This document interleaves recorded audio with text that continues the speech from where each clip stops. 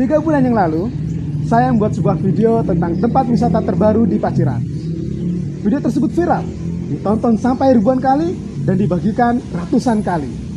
Semua orang antusias menunggu tibanya saat grand opening tiba.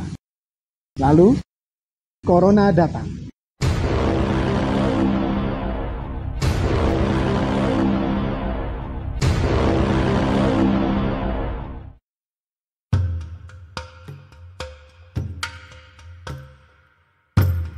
Pertama kali membuat video di sini, belum terdapat papan nama di mana pun. Sekarang, sebuah papan nama megah berdiri kokoh di dekat pintu masuknya. Taman Kuliner Paciran. Begitu pula dengan stand kios. Semua belum bisa dipakai, masih dalam tahap pembangunan.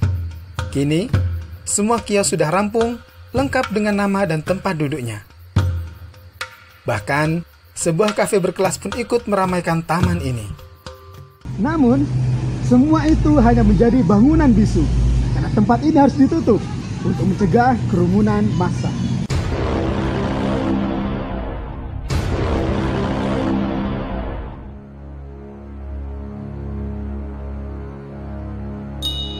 Tempat bermain anak yang semula ramai oleh gelak tawa, kini sepi dan kosong.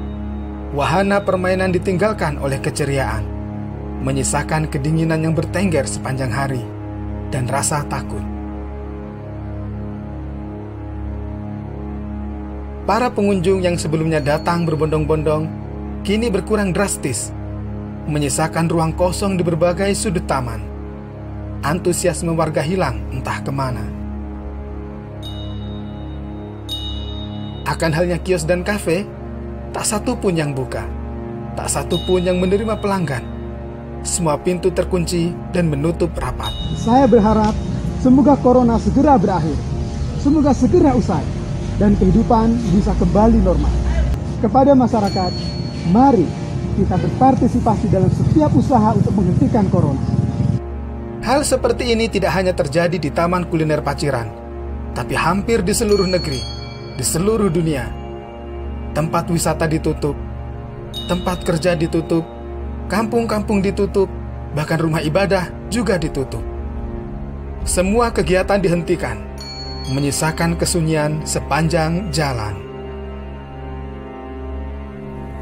Oke, sekarang saya sedang menuju WBL dan kita akan Stop, Mas.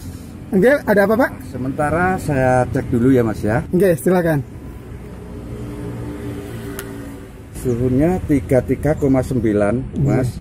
Iya. Normal diku, Pak. Iya, normal. Alhamdulillah. Ada keperluan apa, Mas? Mau main ke WBL, ke WBL, Pak? Oh iya, untuk sementara ini wisata ditutup, Mas. Eh, sampai kapan, Pak? Sampai berakhirnya ada corona ini, Pak. Eh, iya, Pak. Terima kasih, Pak, informasinya. Oh, sama-sama. Oke, mohon maaf, Pak. Monggo. Video ini dibuat bukan untuk mengajak Anda beramai-ramai datang ke tempat wisata. Bukan. Tapi video ini untuk mengingatkan pada kita semua bahwa semakin lama corona mewabah, semakin lama corona ini terjadi, maka semakin lama pula kesunyian ini.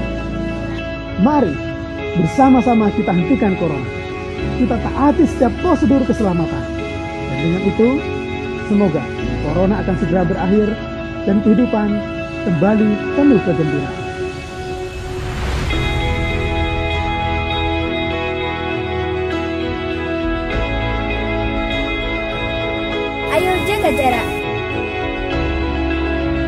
Hentikan corona. Ayo jaga keluarga kita. Untuk keluar harus pakai masker ya teman-teman. Lebih baik di rumah saja. Kuatkan iman, kuatkan iman. Mulai dari kita, mulai sekarang juga untuk kebaikan bersama.